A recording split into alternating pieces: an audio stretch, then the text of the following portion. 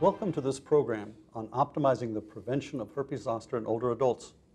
What we hope to accomplish is to increase awareness of the impact of herpes zoster and its related complications on older adult patients, provide clarification regarding the latest guidance for herpes zoster vaccination,